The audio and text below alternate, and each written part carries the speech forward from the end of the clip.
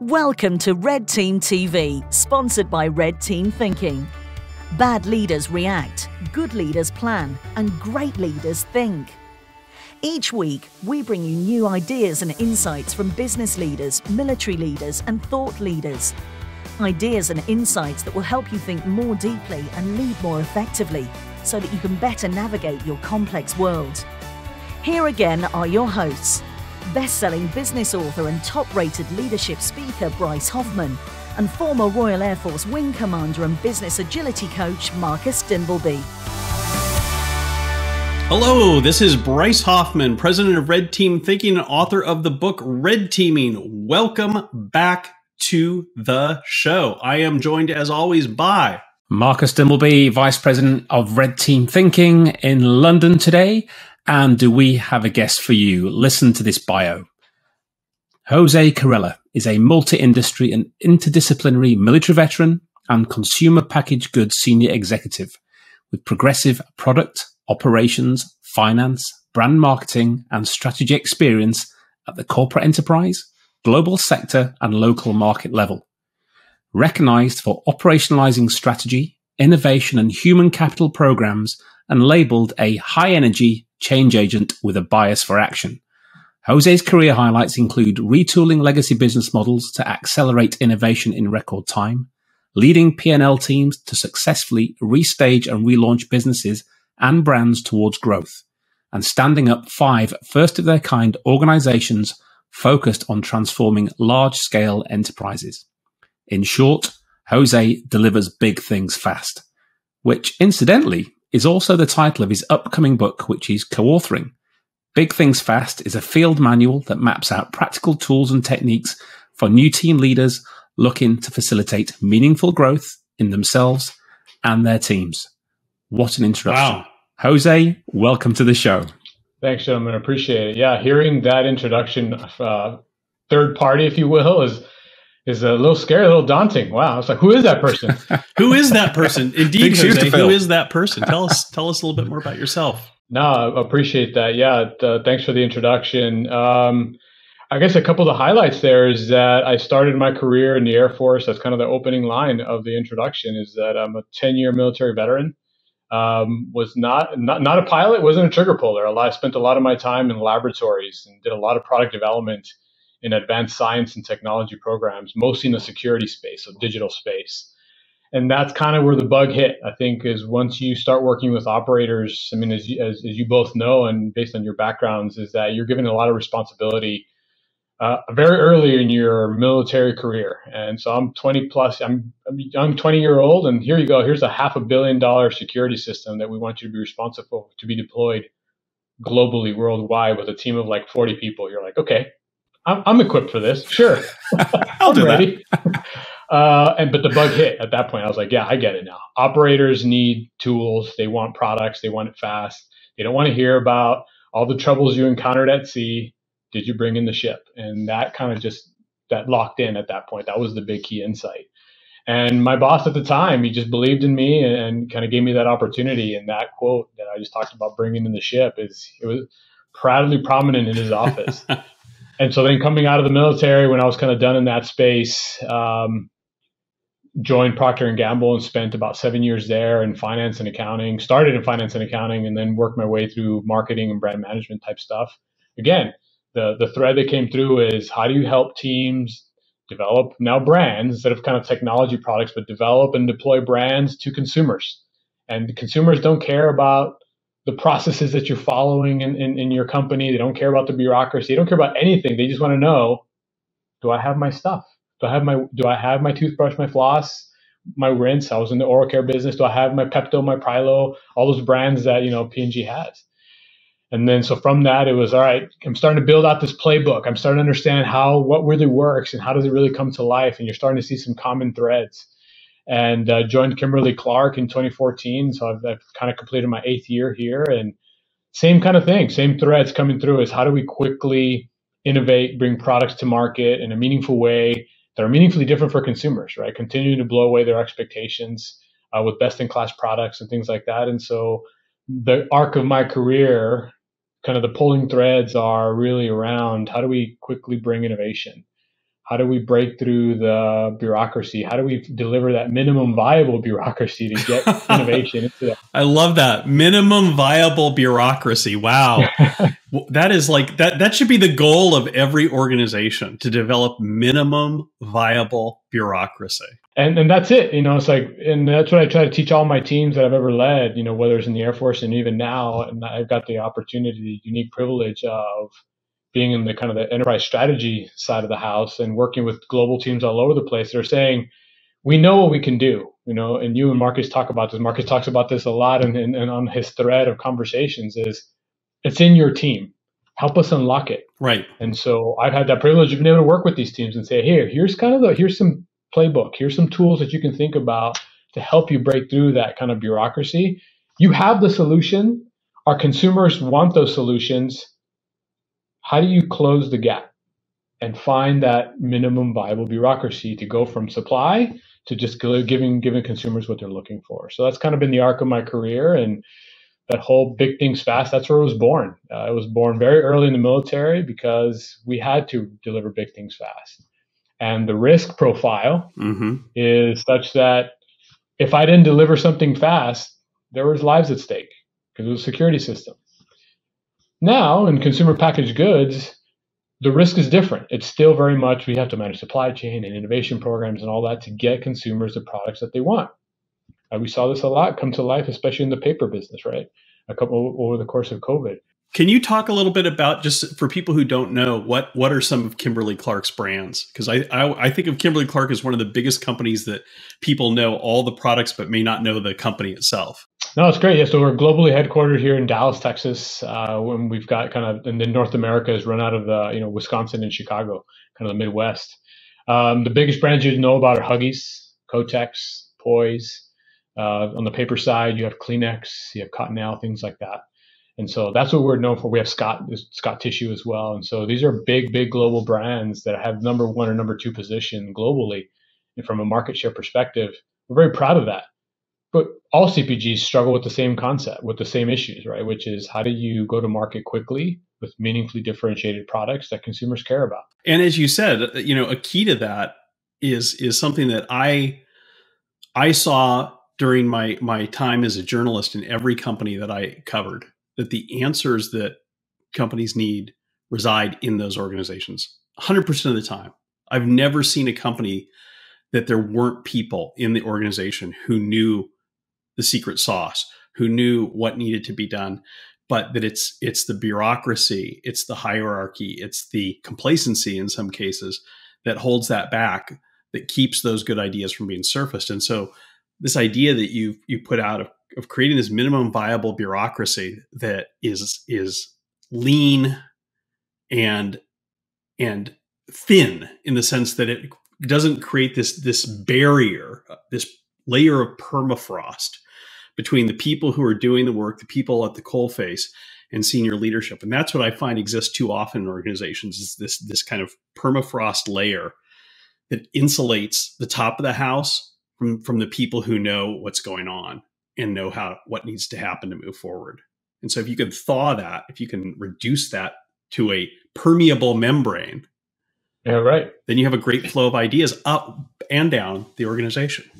No, that's exactly right. It's how do you find what is that that minimum viable is how quickly can we do that? And it's and it's really about managing through the risks and getting leaders enrolled, right? And you know, there's a couple different frameworks out there uh, from from lots of consultancies and also from like the Prosci change management. That's another, you know, there's a lot of different frameworks and tech and methods that are out there that help you think through what is the stakeholder engagement map, you know, Bain Consulting calls it the sponsorship spine. Back in the military, what do we used to call it? The chain of command. Yep. You know, and so, but you can't say chain of command in the commercial world because sometimes I get that kind of makes people uh, put up their barriers in terms like oh command and you're going to command me. It's like no, we're not commanding. You're just, but there's a flow of leadership of a, a chain of commitment, if you will, mm-hmm. of stakeholders, impacted audiences that you have to think through. And oftentimes we just start piling it on, and that's where you start getting from here's the minimum viable of impacted audience that we need to really work through. And then we start adding more layers and more layers, and the permafrost gets thicker and thicker and thicker and thicker, as opposed to saying, this is the minimum that we need to move, and we're going to move at the speed of trust. You have to trust that this layer, these individuals, whether they're, whether it's five or ten or some kind of whatever number you determine, are empowered to actually execute this particular project, platform, innovation. But you have to allow that speed of trust to work its way through to keep that layer thin. That is so critical. And, and that trust, it's a two-way street. That trust is is comes from senior leadership trusting their teams, but it also comes from knowing that their teams have the skills and the capabilities they need to be able to make good decisions, to make to be able to make good choices at the coal face so that you can trust them right? It's it's exactly right. it's about capability as well as confidence. And that i found as well that that has to be a default setting. You have to trust people by default. You know in, in this day and age where we're fast moving bringing these quality people in you know you hope you're going to recruit the quality that you need and then as you've done jose you, know, you enable these people you trust them to get on with what you've brought them in for while providing that leadership, that coaching support mechanism through that spine as it goes up and down. And more often getting them to foster the trust in you. You know, you implicitly trust them because you know why you brought them in. And often the hard, hard thing to do is for the frontline operators is to trust their leadership spine because of probably the scarring that they may have had. And I, I think it's fascinating that where you are now, just from your quick journey you canted through with us, you were doing this as a 20 year old young guy in the military. Yeah. You know, so you saw those problems, and and I was the same. I, I saw those behaviors that impacted my capability to be as good as I could be, and therefore I've always vowed never to be like that as I've climbed up the greasy pole, if you will, to make sure that those below me were always protected.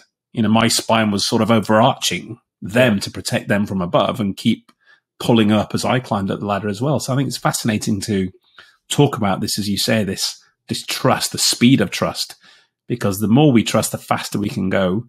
And that's why it's the baseline for Lencioni's five dysfunctions of a team. You know, trust first, right. followed by healthy conflict, and, and it goes upwards. Yeah, that was that probably the most formative. Uh, you mentioned like you know trusting in your team, and for me, the thing that I've always held on to, you know, formative experience was very again back in the the very first role project management kind of big program that I was running was that the operators in the field were giving us feedback in terms of how to fix this particular uh, charging station that we were having. We had a tactical remote security system.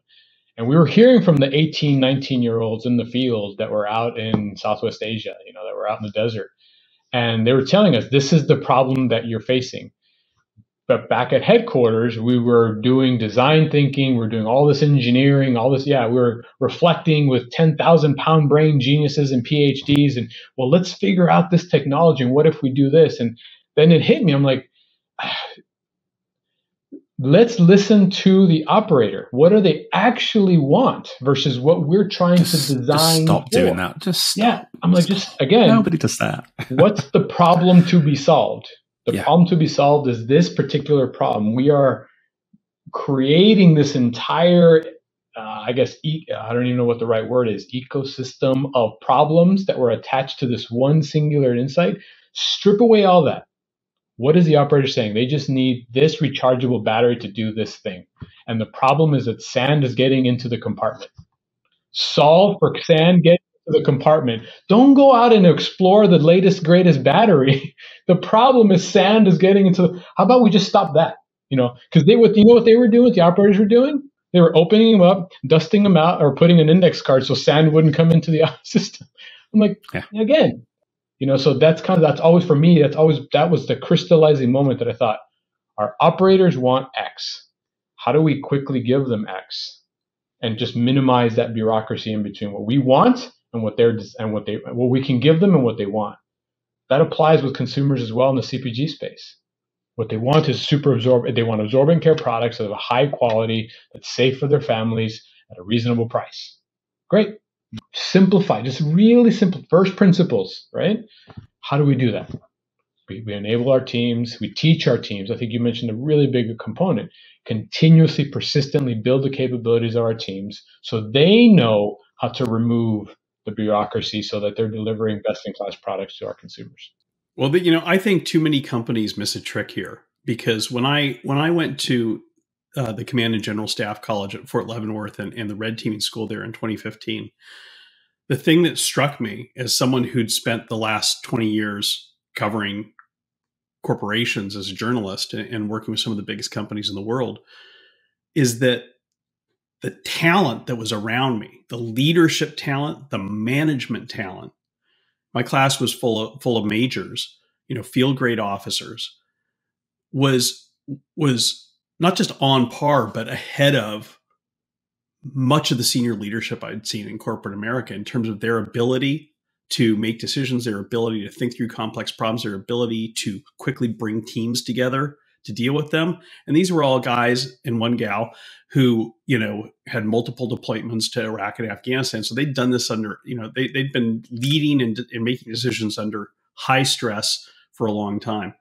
And I think too many too many corporations don't realize the talent that's out there. You mentioned your early career, Jose. I mean, if you're if you're a lieutenant in the US Army, in your early 20s, you're running a team of 40, 50, 60 people. You're responsible for hundreds of millions of dollars potentially of equipment. And there's nobody in business who at that age is responsible for a team that size, of, you know, resources like that and and so you know it's a really important talent pool that I think is overlooked too often. It is very much so. The, the, sort of the veteran capability that's out there, and I know the US, as you know, I served over there, and the, and the the sort of respect of the service and the capability it brings to industry. In the UK, we're catching up. We've got the military covenant now, but that's only been in the last, not even the last decade. But as Bryce said, the capabilities that that are brought by these individuals, and because it's it's taught from the outset. The minute you go through boot camp, and then every new posting or every pr- professional promotion you get, you get a specific set of training. You know, I talk to most executives now. So, how much leadership training have you had in your 25, 35 year career? They may have had a week in total. That's right. I'd had like 18 months by that you know, after 20 years.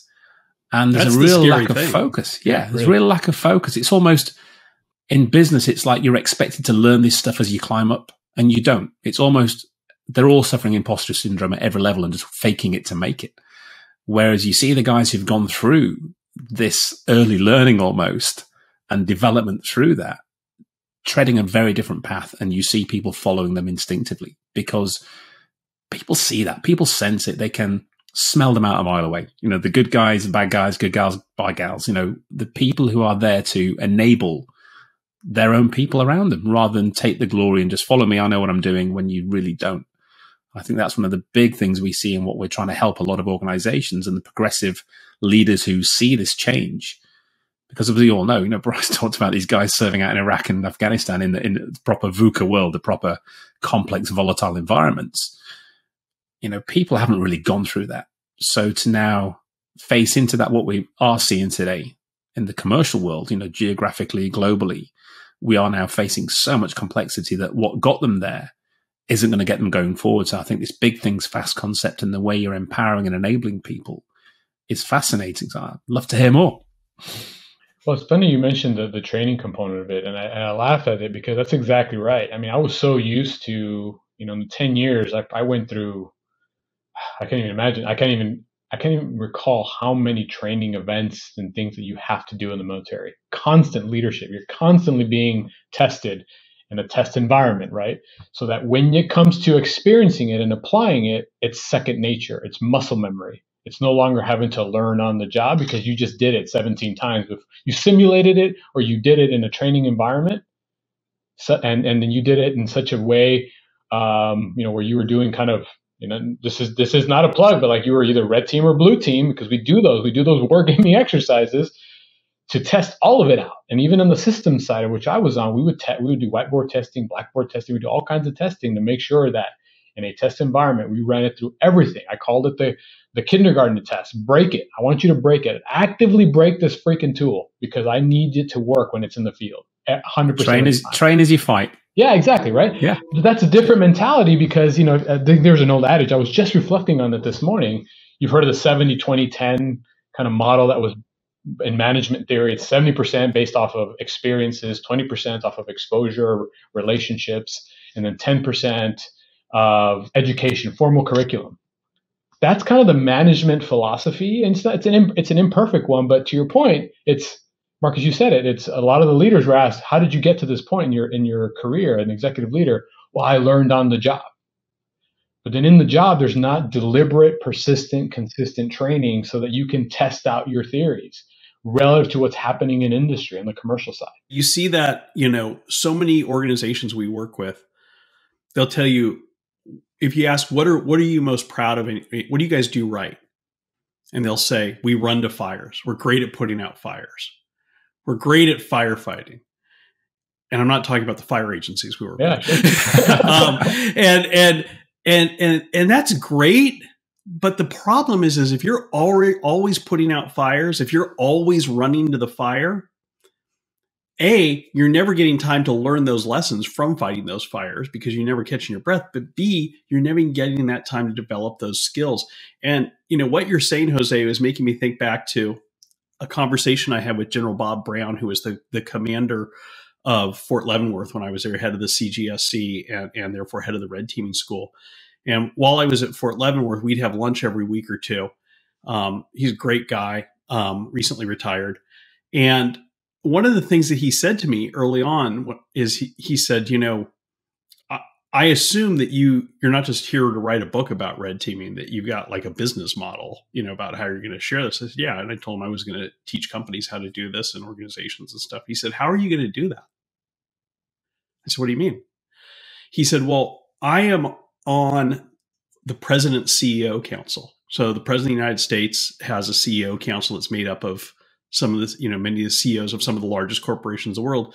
And and General Brown had been tapped to be, as he put it, the, the token guy in green on on the CEO council because um, folks get together and they talk about leadership and share best practices.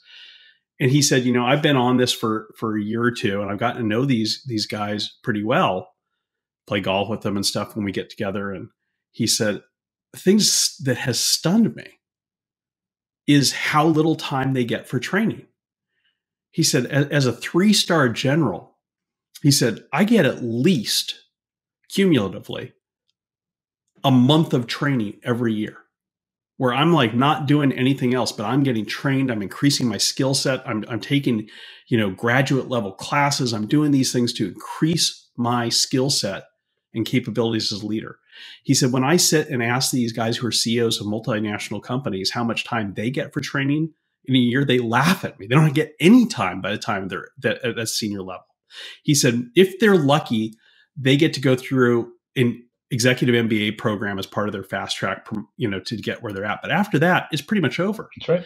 And he said, so I don't understand how you're going to be able to take course that course that I was going through was you know three month course almost. How are you going to be able to take all this and teach it to companies because they don't have time for that. I was I said I'm going to condense it down, and I condensed it down to four weeks, and even that was too much. And he was right. And so one of the things that we've we've continually done is have to try to figure out how to streamline this, how to change the way we deliver this, so people can take little digestible bites because. Org- companies don't make time for training and that's that's a big problem exactly that's that. a big problem we were working with one of the biggest power utilities in this country. It'll be probably figure out, easy to figure out who it was. Uh, that was having a lot of problems in California because their equipment kept starting wildfires and still is. And they really wanted to bring us in and teach, you know, some of their senior leaders how to use red team thinking to deal with this very complex problem that they were dealing with of trying to deal with the fact that global warming was making fire risk increase and their equipment was old and and needed to be upgraded, and all this was creating kind of a perfect storm of annual wildfires. But I kept saying we can't we can't do this. We it takes too long. It's not that it costs too much, it's just you know we don't have time for this. And so I asked one of my friends who who was like a mid level manager for this utility. I said, "How long have you been there?" He said, "I've been there 23 years." I said, "What's the longest you've ever had for training? Like how many days have you gone away for a training your entire time there?" And he laughed. He said, "Days." He said, once in my career, I got to go through, we, I got to do a whole day training session. He said, that's it. And if you're, if you're an organization that's dealing with, in this case, an existential crisis that is a really, the future of this company is engraved out right now. It's, it's also an organization that's being blamed for the deaths of scores of people. And you don't have the ability to make time for hey you know let's at least take three days and and and and focus on on this problem and how can we learn to better address, address these. You're never going to get through it. You're always going to be fighting fires yeah. or you're always in this case going to be starting fires. Indeed. and, and this goes back back to my mantra. I'll say it again. I'll say it every week i think. Slowing down to speed up. You know getting this pe- this mindset into people's heads where yes it's going crazy out there. It is a high speed world. It doesn't mean you jump in the fast lane and accelerate 200 miles an hour it means you slowly accelerate down the ramp or you pull over and observe and then know when to go. And by doing that, it's going to ensure that you stay at high speed when you get there. Because if you don't, and those wheels start coming off, you get an absolute car crash. And we see that so often. And it's just this mentality that it goes back to the medal of busyness. It's the proud medal. All these organizations, say, oh, we're so busy, we can't possibly stop and do that. And I know it's not money anymore. Time is the most precious commodity but you create time by creating space for yourself. And by slowing down, it allows you to get your thoughts to gather your people around you to get their input and therefore become much more capable of accelerating when you need to do, when you need to avoid and pivot and change rather than just this headlong, headstrong behavior of we're going this way, everybody on board, accelerate. You're not on a train track. You know, that's not going to keep you safe anymore. And, and this this VUCA world that we're seeing daily, organizations getting completely swept by a wrecking ball off the market because they thought they were going guns ahead, full speed. And then boom, these things hit them. And then nobody saw it coming, but somebody did. Somebody in that organization, the poor individuals right. probably trying to call it out, going, oh, oh, be quiet. You know, dissenters. You've got to protect your dissenters and give them that voice to speak up. If you've got a leader like yourself, Jose, you've got teams who can confidently raise their hand, challenge you, because they know they've got your trust, you've got theirs, and you've all got a skill set that's been brought together for a reason to enable that capability to become much bigger than the sum of its parts. I want to build on something you said, Marcus, which is you said you kind of create time. You know, you want to slow down, speed up, and absolutely. One of the things that is the genesis or some of the motivating factors behind why I wanted to pull it all together on a book and call it Big Things Fast and create like a field manual is because I firmly believe that when you have a robust, dedicated training curriculum program, when you invest in the people and build their capabilities on a persistent basis, you unlock capacity. 100%. That's really it. I mean, you you talk about creating time. I'm talking about you unlock their personal capacity, but they become more efficient about doing the things they were doing, the fire putting away, like you were talking about, Bryce. Like, hey, you're going to be creating your fires. First, stop creating fires. How you do that? Let's show you how to do that. And then, if the fire comes along, if I've built your capability such that you can now solve that fire in less time for lower cost, you've unlocked capacity.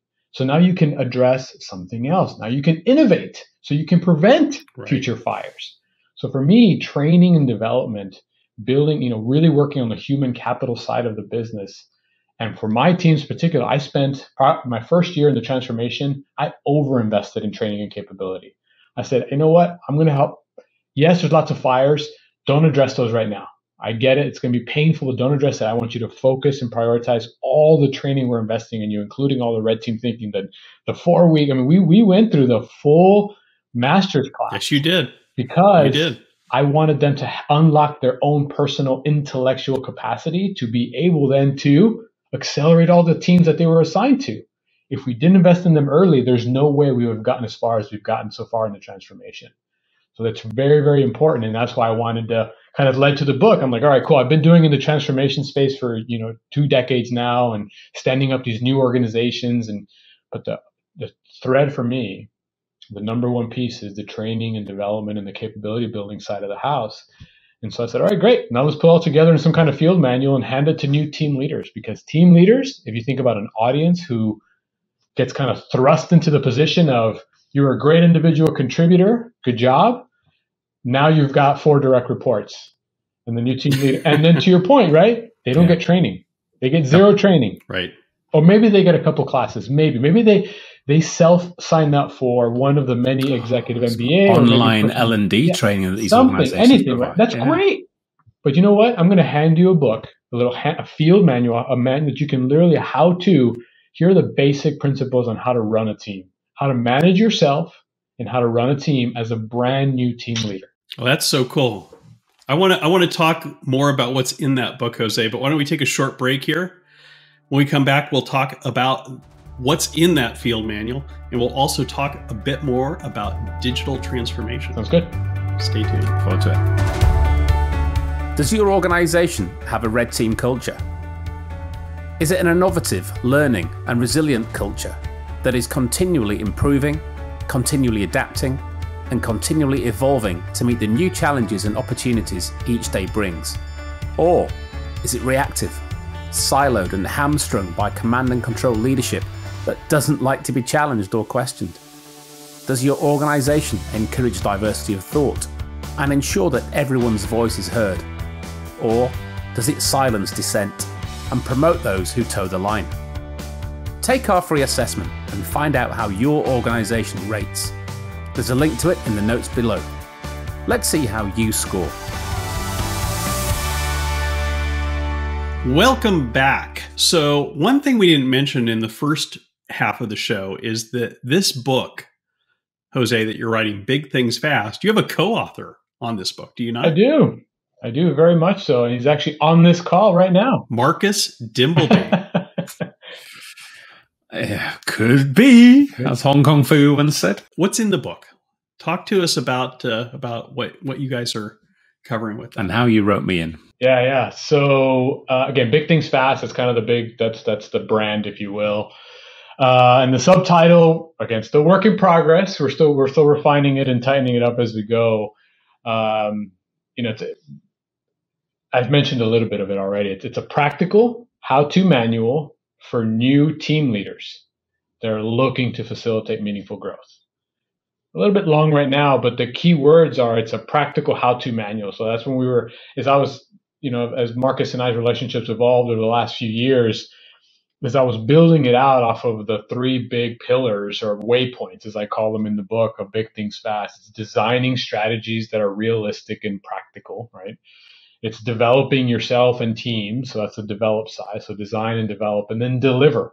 You got to execute ultimately. And so within the execute pillar, we're demystifying how strategic analysis, how agile, and how change are basically elements, are part of the flywheel to really drive incremental value. And that's the key.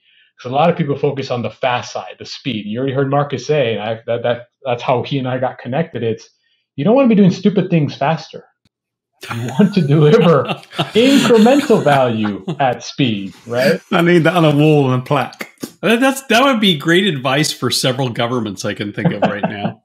Oh, many. Well, I think that, that people really key in on the fast. And I'm like, yes, but here's the nuance is that you have to deliver incremental value at speed. And then you go, wait, well, how do you do that? And so that's really what this book is meant to be. As I mentioned before, why? The why is simple. It's VUCA world. You know, we're moving at speed. Lots of leaders need new ways of thinking and doing. Uh, we want to make sure we we dissect what speed really means. What are the pitfalls of move, of doing stupid things faster, things like that. And in my, and in our conversations, as we were kind of designing the content and all of the you know the actual tools within the book, it's really exciting, Bryce, is that we're actually building in tools into the book itself. You know, we were inspired by a lot of the work that we did with you overall on, on Red Team, but then on, on other on other capability building programs that have been a part of, is that a, lot of these new team leaders that I coach and mentor, they show me how. It's just, oh, they always ask, okay, I've got this new individual that is struggling with X, or we're about to come to mid-year reviews. How do you run a one-on-one? Really basic stuff that it, they just had a little field manual that they could write down all their notes and just always have with them so they can actually run their teams effectively and still grow as team leaders themselves. That's really why we built this book. And we actually introduced a fourth pillar, which is sustain. And the sustain side is about building a community of practitioners so that you can test your own theories, right? You want to test your own BS a little bit. And Absolutely. with, with, with other kind of like-minded people that are, maybe you have a community of, of all new team leaders within a certain industry. Wouldn't that be cool if you could talk to them and test what you're doing? And so we, you know, again, we took this inspiration from a lot of other uh, service providers that have these kind of small groups, Slack groups, or anything like that. Obviously, you guys have one as well. I love the Red Team Thinking Group. I, I, I go there frequently. And so we want to make sure that we, we create this small community because it tests your theories, it busts your biases, and it helps with imposter syndrome. Yes. So for us, it's design, develop, deliver, and sustain. So those are the kind of the four waypoints within Big Things Fast, specifically focused on new team leaders. That's so important. That peer to peer learning is so powerful and so essential. We are working on on really trying to take that to another level and what we're doing for for our community of practitioners worldwide.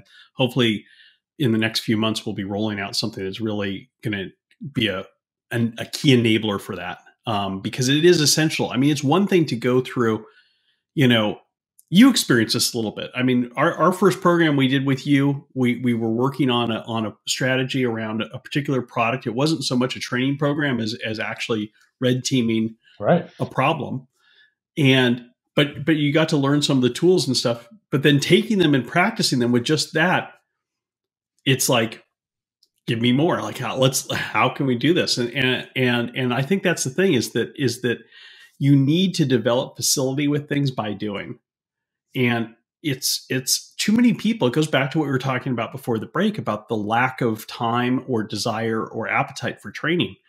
You know i was working with one of the biggest tech companies uh, one of the biggest social media companies in the world um, before the pandemic about doing a program. And they were like we want all of this but it has to be in less than 60 minutes. Like give us each you have this many tools. Let's spend five to ten minutes each show explaining it to our people and I said, Listen, it's not possible to do that.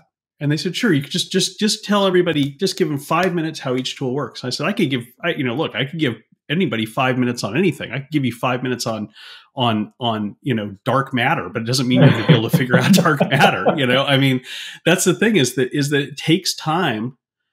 You can tell something, tell tell people something, but you have to experience. You have to practice it, and then you have to learn from each other as as you said, that's where the, the community of practitioners is so key. You have to learn from each other. We learn from every single one of our clients. We're constantly evolving what we do based on the feedback we get from our clients who say, you know what, I did this and I encountered this interesting problem. How do I solve it? We're like, it's interesting. Let's think about that. Yeah. Let's tweak this so that that can be, or I tried this, but I did something a little bit different and I had this great result. And we're like, great, let's incorporate that into how we do this going forward. And we learn from each other, ideally. And, and you know, things, any tool, any any methodology, any skill set should not be viewed as a static thing. It should be viewed as a starting point. You know, it's it's it's like jazz. You know, you have to learn how to play the trumpet but once you learn how to play the trumpet, well, you know, the sky's the limit. Do whatever you want with that. You know, is you're limited by your imagination. That's how I think about like the tools that we teach is that is that we're giving you a starting point, and then once you gain facility with that, though, do whatever you know. This is things are going to occur to you that would never occur to me about how to use it. And so, if you create a community of practitioners, then everybody benefits from that learning. Yeah, so true. Um, and when another musician comes along, you play your trumpet differently that they inspire you. They, you know, drive you to try something or to, oh, hang on, let me, follow that riff. And, and you see a multi-use of that instrument or as we see with these, these tools. And that's why we say about the red teaming toolkit is you pick and choose parts of it as you need. And it becomes, as we say, muscle memory or a practice rather than a rigorous step by step process. You learn it by a process because that's how we best learn. But then when you're out there riffing with your jazz band, with your teammates and somebody will say one thing and they'll swing the whole team a different way to use something completely off the wall. And nobody ever considered that until Bob mentioned one thing. And everyone's like, wow, this is the, the, the wisdom of the crowd, isn't it? It's that none of us is smarter than all of us that we talk about, where the team feel able and confident to do that and speak up and go. They don't sit there going, this would be really great if we did this, but oh, I don't want to speak up. I don't, I don't want to say this where in a team that's enabled and confident and trusts each other, they're going to, guys, this is crazy. But what if we did this? And no one goes, well, stupid idea. Be quiet, Bob. People go, wow.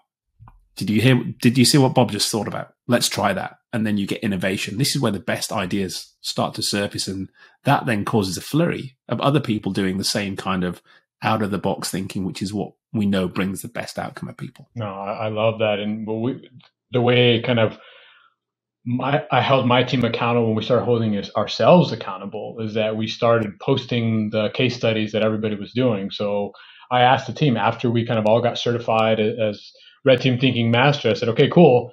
I'm going to give you, you know, let's just say, let's commit four to six weeks, apply one of the tools. We just said something, we all agreed, yeah, we're going to apply one tool to whatever problem we were facing. And then we grabbed those tools and we posted them up on our little mini kind of internal SharePoint to say, all right, here's how I used you know, uh, uh, the five whys. Here's how I use lies we tell ourselves. Here's how I used influencer engineering. And we were just starting to, we're starting to build case studies of individual tools and it starts sparking. It becomes a flywheel of exactly like we talked right. about capability building. Learn it, by doing. It unlocks yeah. capacity. It generates demand. It generates pull. And then all of a sudden, because my team is embedded in, in, in the actual market, in the enterprise, launching, facilitating and launching these other, all these kind of agile teams if you will, is that then those teams are saying, well, how did you know to do that? Oh, I have this tool. Oh, I have the suite of tools. Oh, interesting. And then you plant another seed. And when you start right. planting those seeds, you start seeing the culture, the mindset shift, the behavior change. And that's that's you know, exactly that's that. when you're there. You know, that's when you're getting there. That's there the go. holy grail. I mean, that's you know, that's the thing. You know, is changing the way the organization thinks, change the way the organization acts, changes the way changing the way the organization reflects on itself. That's that's so important. I want to talk about how you've taken these tools though and applied them to digital transformation because I think that's so interesting and and I think a lot of what you're doing is is is a model for how to incorporate this approach with digital transformation. Can you talk a little bit about how yeah. you've done that? Can Kimberly I just Clark? caveat oh, before yes, you yeah. start? Yeah, yeah you know, you and I are both big agile fanaticists, and you two, not me, not Bryce. You, you, are a closet. Come on, we, we, I don't. Know this I, one of your things. I, I, I've never been accused of being agile in my life. No, but absolutely. But you know, a lot of these big transformations are failing. Mm, I, don't know what the latest stats are, but you're talking seventy to eighty percent of these big things that are trying to be done fast are failing. So just bear that statistic in mind as as Jose walks and talks us through the digital transformation that you've done at one of the biggest companies in the world. There's a lot to unpack there, right? It's digital is one of many transformations that have to happen when you're thinking about what KC's ambition was, is, sorry, is, you know. We're trying to transform our not only just not only the digital side, but all the elements of our business such that we are a top tier growth, world class CPG company, right? Digital is an element of that, but you also have productivity, you also have cultural elements, you also have commercials, you have lots of different facets of transformation, of which digital is one of those, because it ends up being the backbone, right? The access to data, the differences in different markets, and things like that. So for us, as we think about the total transformation, first, it's digital is one component of that what are the underlying truths? What are those first principles? What is our ways of working that unites all of the transformations? And that's kind of where we've really focused on is what is our compass? What does our culture stand for? What are those critical, what's our true north? What's our culture? What are our values? Making sure that we are adhering to those because as those permeate in the organization, then you see all of these a very important transformations, whether they're digital technology, product innovation, all being united under a common banner of this is our ways of working, this is our culture, this is our true north. Better care for a better world. That's our goal. And we want to be top tier performance. How we get there requires all of us to be going towards that goal. And so that kind of that's the underlying story, the story arc. That's the most important thing. And second, you think about agile, you talked about it, Marcus, right? It's sometimes you say, well, transformations equal agile. No, transformations require a major behavior change in how we operate and are working towards a common goal. Better care for a better world, top tier performance. That's kind of our, our operating model here as we think about it. The agile side of it is a way to do that, but it's only one of the ways to do that. And I think that's what we have to think about the reconciling between agile, which is a there's agile values, agile behaviors. You know, you have the manifesto, which for those that aren't familiar, you have the four way, the, the four, the four values, And then there's agile practices like Scrum, like, like, like, right? But when you overlay kind of what strategy says, and here's the analysis of where you think need to be thinking about your business model, whether and whether um, um, what that looks like for a digital transformation, and then you overlay and you kind of say that's kind of one bucket of work. What are we going to do? Agile shows you how you're going to do that. How might you incubate this particular piece of work? You also have the change element of it because you still have to drive that change within the organization. So if you overlay those three concentric circles, you start seeing where they becomes that flywheel of growth I was talking about before. And that's sometimes what was getting disconnected. So when I stepped in and started really kind of seeing how this transformation was coming to life across this massive enterprise, is I was working with these markets and teaching them the how. And it was very much around applying agile to a discrete growth problem that that organization, that team had. Exciting stuff. But then you realize that, okay, great, they were incubating this great solution, whether it was a new technology or new data system or a new way of bringing faster innovation from another marketplace. All good things in dramatically faster time. So incremental value at speed. All good things. But then when, when then you kind of hand it off to the business to embed, then it was like, ah, you stumbled, right? That's where we had to roll in change And you say, well, why are we doing this in the first place? You had to overlay strategy and how you're going to measure the success of that particular program. So, strategic analysis, agile implementation, values with some practices, and change have to happen concurrently for you to truly lock, unlock incremental value at speed. And that's what we talk about on the deliver side of the of the book for sure.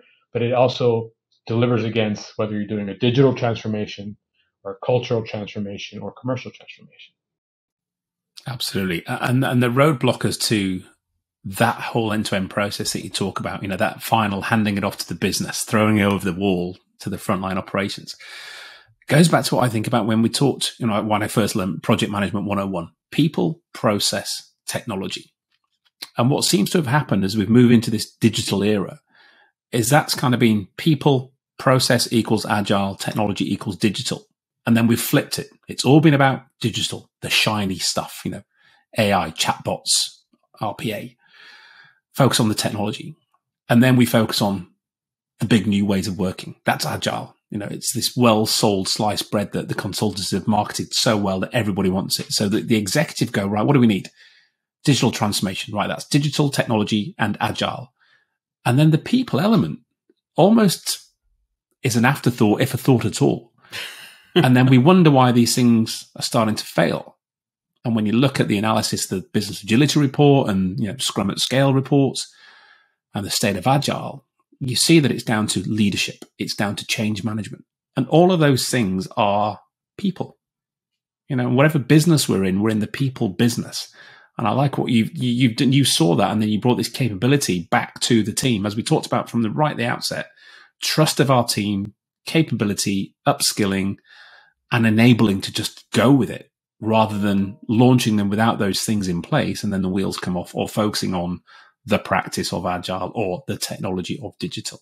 And I think that's the uh, beauty of it. It goes back to something else that Jose said early on, which is that it's having that common mindset. Mm-hmm. Mm-hmm. That's it. About this transformation, because I'm going to steal one of Marcus's quotes here that new ways of working don't work without new ways of thinking. And so when you described Jose, your your roadmap at Kimberly Clark, it started with thinking differently before you got into the mechanics of how we're going to do things differently. And that to me is the key. If you if you're going to if you're going to just overlay this on the way that we've always been thinking about our business for the past several decades, you're not going to have a real transformation. What you're going to do is create this gap between your new capabilities and your old ways of thinking. And you need an organizing construct, a true north. Uh, some people don't like the word anchor because oh, you're weighing me down, but you always need something, something to reorganize, to reorient yourself. Better care for a better world, clear. Top tier performance, clear. If that's how we, th- those are the things that we always come back to, and we have our our four ways of working and our values of we care, we own, we act, and all of those things come together really nicely in terms of what's here and what's here then when you go to execute, you can you always have the light pole. You always have the what do they call the lighthouse to come back to, and that's really Right. critically important because regardless of how you, regardless of the tools, you always have the lighthouse. And so, because the tools will evolve and change over time, we already talked about this over and ad nauseum. VUCA, it will change, guaranteed. Right. That's the only constant. Yeah, Yeah. you need a constant, and then focus on the people. Then you can think about, hey, are the tools satisfying what we're trying to do? That, that's the key. Are the tools satisfying rather than we're driving because of the tools? And, and I've seen that so often where they're letting the technology drive them to the North Star that's not where they thought it was, or they're being so wrapped around the axle on the tool. And we must do this because this is what the tool forces us to do rather than going, what is it we want to do? And then building a tool or buying a tool that provides the capability they need for that. And we were chatting about grandmas at the break and how they taught us to tie shoelaces. And I still remember my grandma telling me, and it goes back to this anchor we're talking about. She says, all you need in life is three things. You need love, boundaries, and direction. And I've always remembered that. And wherever I've gone, it's like, okay, the love for me as business, it's to support. Am I getting the support? Am I giving my people the support? Boundaries. Am I setting clear parameters, caveats, constraints, where we can go, where we can't go? Safety. Does everyone understand that? Great. Now, do we know which way we're going? Have we got that alignment to that clarity that we talk about with the three C's?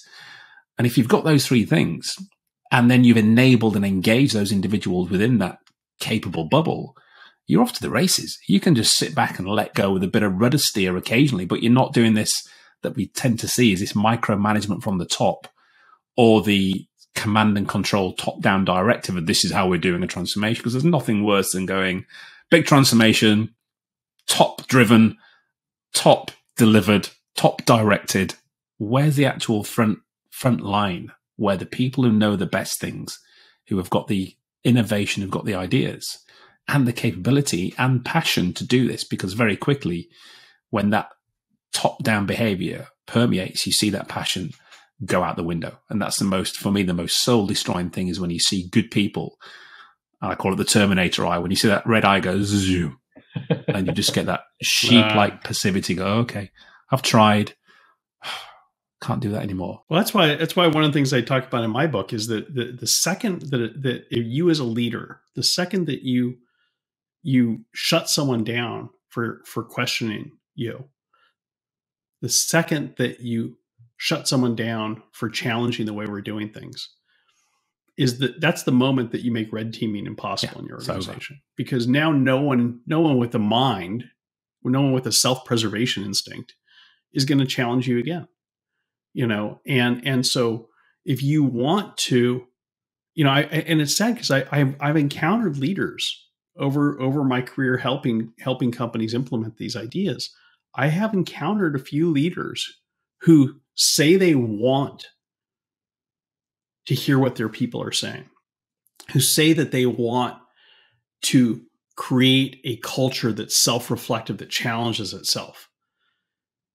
And yet when they when when they when they tell their teams to do that they immediately jump in and say well you know no you're wrong. This is the right way to do that and, and it's like i take them aside and i say this is why that you're not getting this is why no one tells you the truth you you know you, you say you want to hear what's really going on in the organization but as soon as you you you you put that invitation out you jump down the throat of the first person who tells you something you don't want to hear It's because they learned that on a half day leadership course. It's not sincere. I was about to say the same thing. I'm like, because Yeah, it that is. leader, Yeah. I stopped going to training. They don't have any training. They Yeah. don't have Yeah. to right unlearn anything No. because they're they Unlearn. have their playbook. Unlearn. Yeah, Let's learning that for a agility is probably the most important piece, and it's hard, really hard, right? In terms of saying, "I'm willing to be wrong. Show me a better way." Great, but then the willingness. This is where I, you guys talk about the. I love the bias bingo, right? It's are are you willing to say, "I was wrong"? I've seen. I've worked for tons of leaders who are like, yeah, "I'm wrong." Yeah. show me a better way. But are you able to unlearn the old way, let it go, empty the cup so that we can refill your cup with new information? That's desperately hard to do. Right. That is such a thing. That is that is such a powerful thing. Is that is that uh, that there, there's a there's a story there there's an old Sufi story in the Middle East about how a guy goes to a to a great master and he says, "I want to learn. I want to learn what I've done wrong."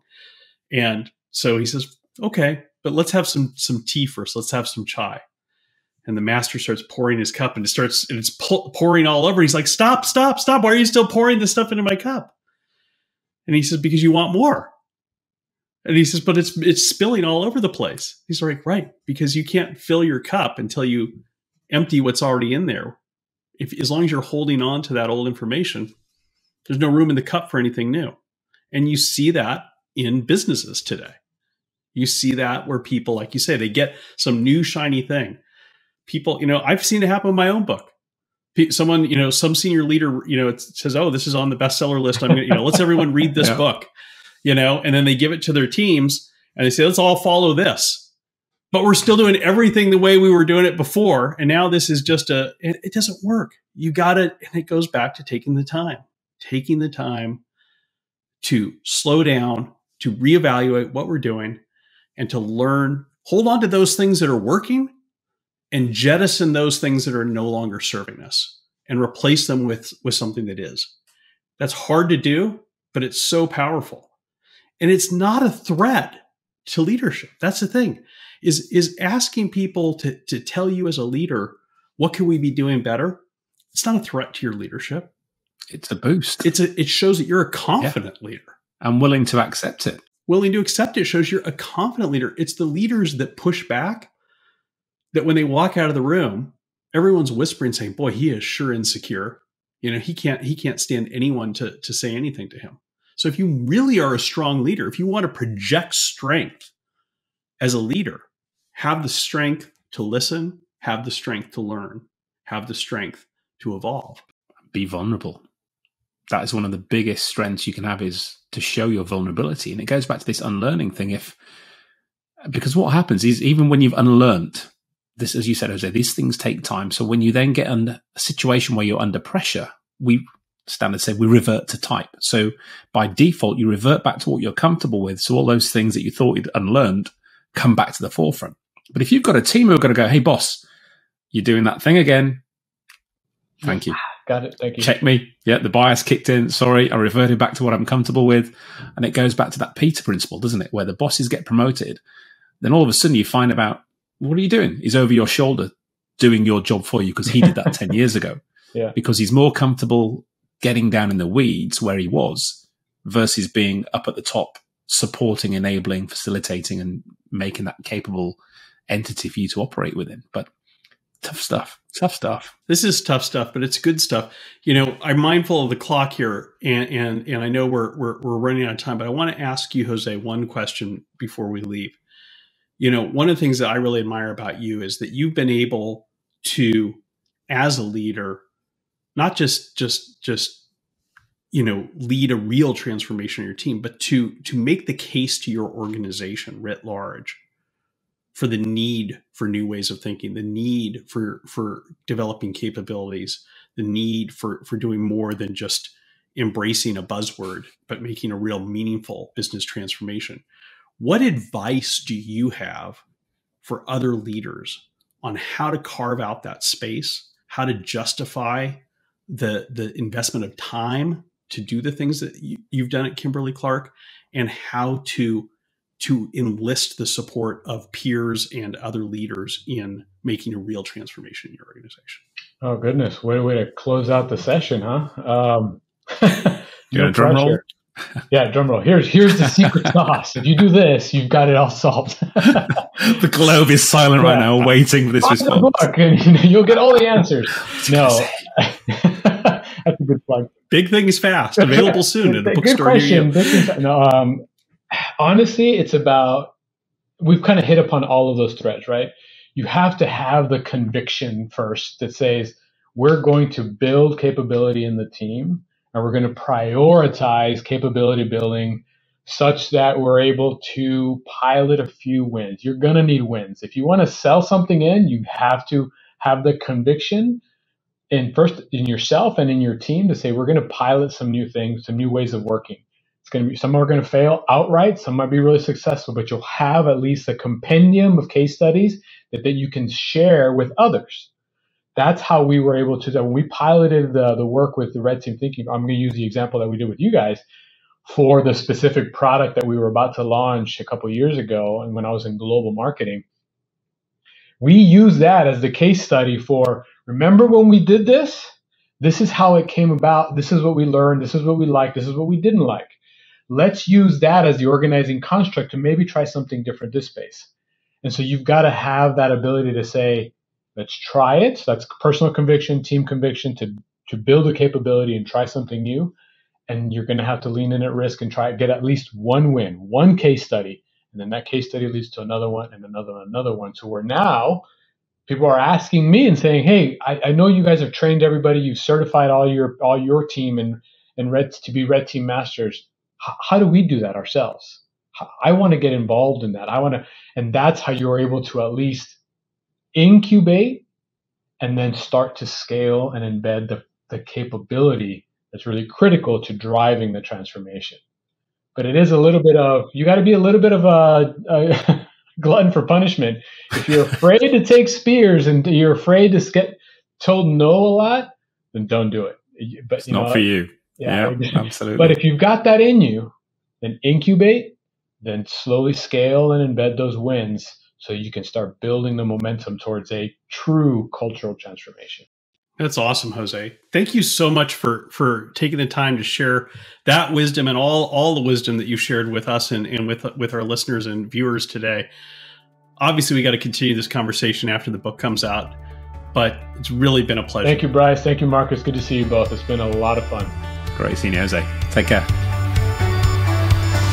Thank you for tuning in to Red Team TV, sponsored by Red Team Thinking. Be sure to hit the subscribe button and notification icon below so you don't miss the next idea filled episode. If you prefer to listen on the go, subscribe to Bryce and Marcus's podcast, The Thinking Leader, on Apple Podcast, Spotify, or wherever you like to listen. And don't forget to visit redteamthinking.com to learn more about Red Team Thinking work and Marcus and Bryce's upcoming online courses. While you're there, take our free quiz to find out how you rate as a Red Team thinker and if your organisation has a Red Team culture. Because who thinks wins.